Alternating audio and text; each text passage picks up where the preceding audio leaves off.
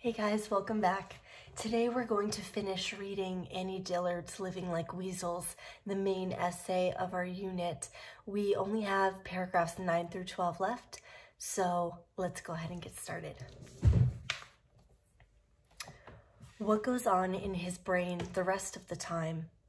What does a weasel think about? He won't say. His journal is tracks in clay, a spray of feathers, mouse blood, and bone uncollected, unconnected, loose leaf, and blown. So this paragraph is a really nice um, time to pause and talk about the fact that Annie Dillard is a pretty lyrical, excuse me, she's a pretty lyrical writer um, which means that sometimes, even though this is an essay, you'll notice that she's doing some internal rhyme, some words that sound good together, um, whether they have those long vowel sounds in common or they actually literally rhyme. So that last line that I read was kind of an example of that um, and something to keep an eye out for in the rest of this essay and just her writing style in general. It sounds good to the ear, you know um, moving on, still talking about this weasel, and finally moving into, you know, her central argument for this text, living like weasels, why do we care? What does she mean, right? I would like to learn or remember how to live. I come to Hollins Pond not so much to learn how to live as frankly to forget about it. That is, I don't think I can learn from a wild animal how to live in particular. Shall I suck warm blood, hold my tail high, walk with my footprints precisely over the prints of my hands. But I might learn something of mindlessness, something of the purity of living in the physical sense and the dignity of living without bias or motive. The weasel lives in necessity and we live in choice, hating necessity and dying at the last ignobly at its talons. Okay, so here is sort of part, part of her central argument. Now, she doesn't say it straight up, literally. That just wouldn't be artful. You know, that wouldn't be uh, beautiful, good writing if she just said, you know, straight up what she meant. So it's a little bit more work for us, but we can kind of see the beauty of her language use, right? So she she says that she might learn something of mindlessness um, we talked about the fact that she points out the weasel lives according to instinct, right? She said that, I think, in the first paragraph. That's what she means by mindlessness, um, not thinking and overthinking and going back and forth the way that us humans tend to do, right? When we're making a decision, even if it's something basic, right? Um, so when she says mindlessness also, I think she means, even though it sounds like the opposite, mindfulness, right? Mindfulness, um, being present and immersed in the physical sensations and just the, the raw experience of each moment, right? So she's calling it mindlessness, but in our culture, we think of this type of living, this type of mindset as mindfulness, right? So that's something else that I think she's talking about here. Let's keep reading.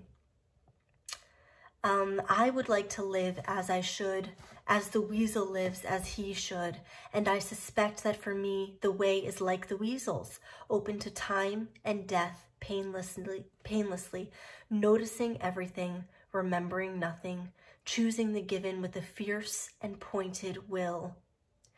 I missed my chance. I should have gone for the throat. I should have lunged for that streak of white under the weasel's chin and held on, held on through mud and into the wild rose, held on for a dearer life.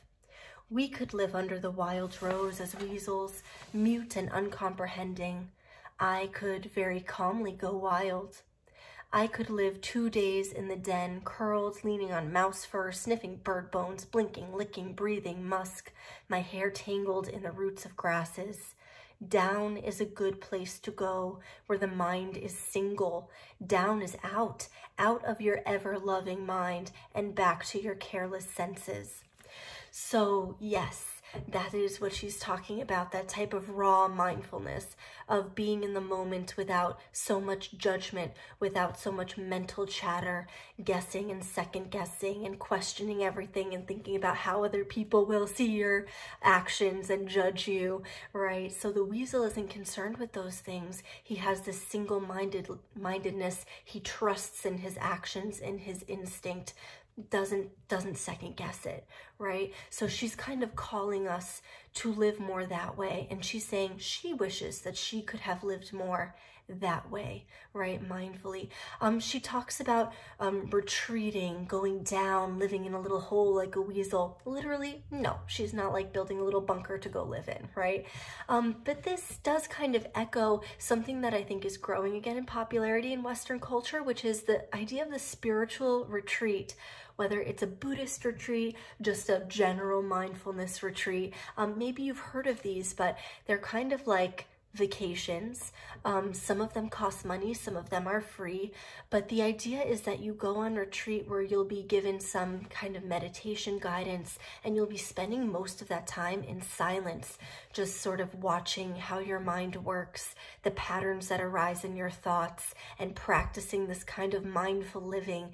And the idea is that once you return from retreat, you're a more aware person and you're able to take some of those skills because it is a learned skill, just like a sport um, would be this mental training. It, it's a type of training. Um, and the idea is that it'll increase your well-being in your life once you return to the real world, right?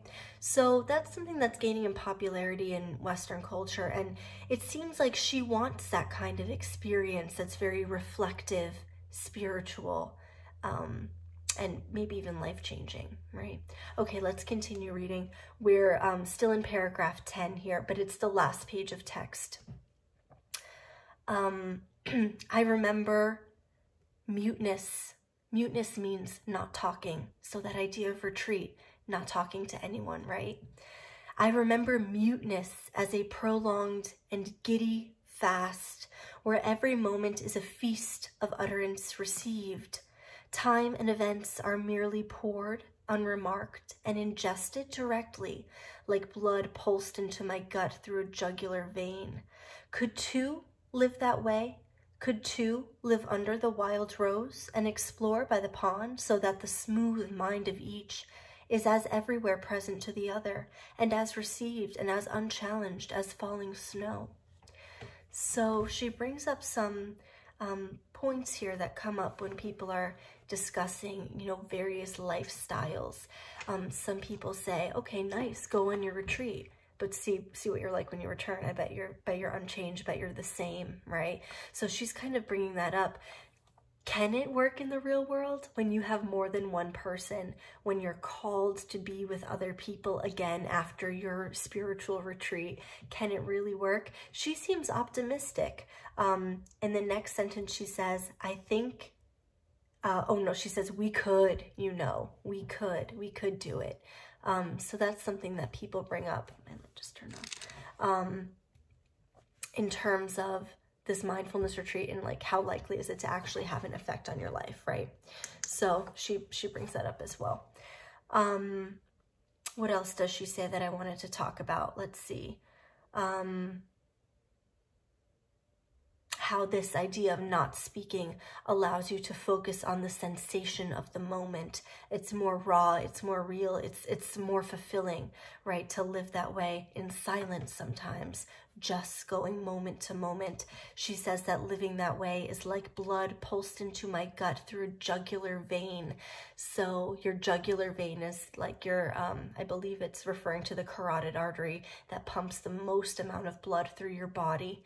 Um, and so it's like a direct life source, right? So she says this type of experience gives me life, right? In that way, that's kind of the metaphor. Let's move on. We're almost done here.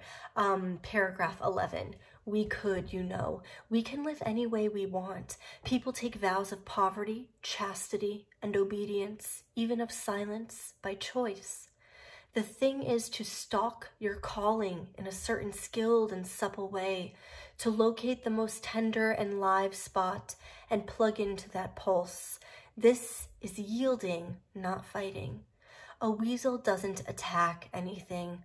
A weasel lives as he's meant to, yielding at every moment to the perfect freedom of single necessity. So again, not second guessing. Um, when she says to stalk your calling, what does she mean by calling? You know, when I think of a calling, I think of, you know, what is your life's purpose? Perhaps you're turning that into a career, right? And, and maybe she doesn't mean it that way, but I think even more simply, like, just do the next thing, just do the next step, you know? Um, it seems like I'm sure for you too with college apps and graduation, there's like so many little things that you have to do um, that it can seem overwhelming. She says, don't, don't overthink it. Just do the next thing, right? Instinct, instinct. Just do the next thing and you'll get through it, right? So I think that's another way to think of calling. Maybe it's not this monumental, you know, career or your life's purpose. Maybe it's just what are you being called to do in this moment? What do you have to do? Engage with it fully right? Be there for it, enjoy it. That's your life, right? Um, and then move on to the next thing instinctually. Don't overthink it, right? So that idea again. Moving on, this is the last paragraph, guys. I think it would be well and proper and obedient and pure to grasp your one necessity and not let it go, to dangle from it limp wherever it takes you, so that's like that image that we saw at the very beginning of this piece of the weasel that was stuck onto, well, the, the eagle's neck, right? And then also the naturalist's hand to dangle from it limp and not let go. Just go for it. Don't think about it, right? And then once you make that decision, stick with it. Follow it through. See where it takes you. I think that's kind of what she means with this metaphor here. Um, don't go literally biting people. That's not what she's saying, right? Then even death where you're going, no matter how you live, cannot you part. Seize it and let it seize you up aloft even till your eyes burn out and drop.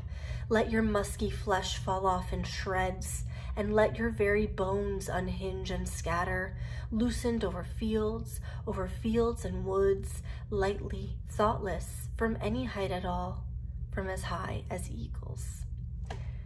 So that's the end there. And I think that she's trying to say that when you make a commitment to live in a mindful way, um, where you're not judgmental about others or yourself, where you're just doing what seems like the next best thing, and best in terms of the most moral, the most good, um, the most healthy for you or for your loved ones, right?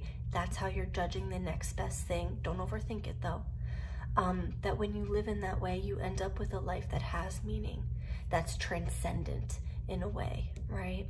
Um, that word transcendent, that's kind of what's happening at the end. Those images of you, you know, your purpose living on after you physically die or after your body decays or something like that, even though it sounds incredibly morbid, right? Um, but I think that's what she's saying. That's how you live a life of value, um, mindfully and with um, intention that's not so self-aware, so caught up in the ego, so caught up in what will other people think of me? Like, no, that's not how you should be going moment to moment, right? That doesn't serve you best. So I think that's like her main argument. When she says, let's live like weasels, she's not saying like, you know, because they're furry and cute. It's because they have this instinct, right? Um, that they live by, like all wild things. Um, and that that's something that we should try to do more of. Our mind gets in the way. To be a human is to probably be an overthinker.